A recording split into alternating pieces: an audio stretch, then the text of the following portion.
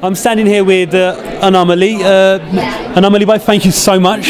Firstly, for coming to the event. No, good to be here. Thank you. And I see you brought your family with you as well, Yeah, which is sure, always a nice touch. Sure, sure, sure. Tell me the importance of Limelight Film Awards. I think this is my first time, Sure. and uh, it's one of the things is lacking in our um, in the film industry to be uh, represent for many uh, small, uh, maybe the production team producing a great movie, and to just to give you opportunity really and creating a platform, and that gives you opportunity for new generation, and I think uh, that's really.